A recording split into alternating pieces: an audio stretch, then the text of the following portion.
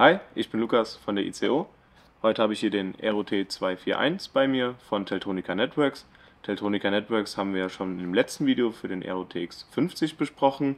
Wenn ihr das Video noch nicht gesehen habt, werden wir auch nochmal unten verlinken, könnt ihr euch gerne angucken.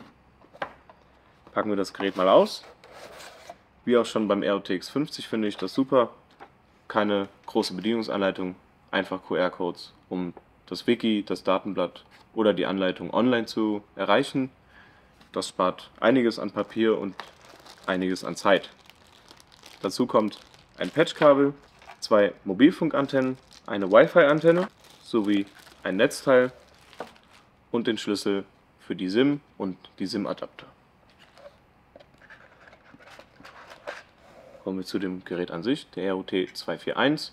Sein performance-starkes und kostengünstiges Modell für den normalen Gebrauch in Ihren Netzwerken.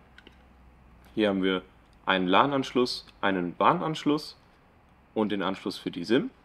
Hier ist eine 4G-Konnektivität vorhanden mit zwei Antennen für die 4G-Konnektivität und eine Wi-Fi-Antenne.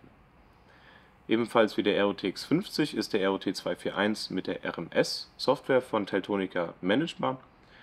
Hier können Sie online das Gerät verwalten, Firmware-Updates machen, eventuell Status-Updates sich zusenden lassen. Alles, was das Herz begehrt.